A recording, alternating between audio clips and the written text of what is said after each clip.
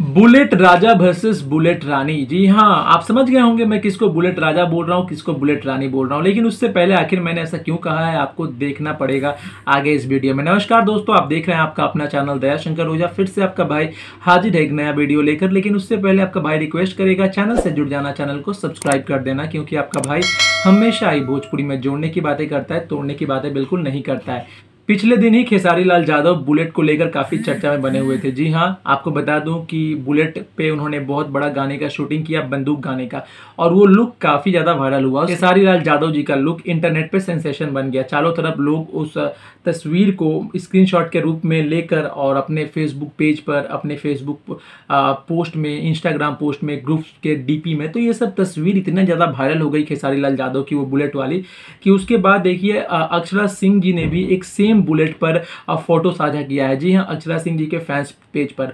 और एकदम ऐसा ही लग रहा है वही बुलेट गाड़ी है। मतलब भोजपुरी इंडस्ट्री में बुलेट का जो सफ़र है ना, बहुत ही पुराना है। आप भोजपुरी स्टार अपना फ़ोटो शेयर करते हैं तो खासकर बुलेट तो आपको देखने को मिलती है। हालाँकि मैं बुलेट पे क्यों जा रहा हूँ, मुझे तो कुछ और बात करनी है। जी हाँ हमें बात करनी है कि खेसारी लाल यादव और अक्षरा सिंह जी का गाना कब आएगा?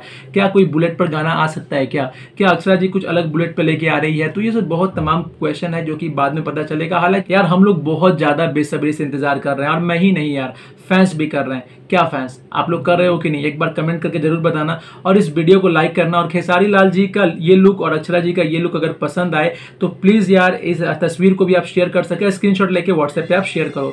मिलते हैं एक नए वीडियो, तब तक के लिए जय हिंद बंदे मातरम।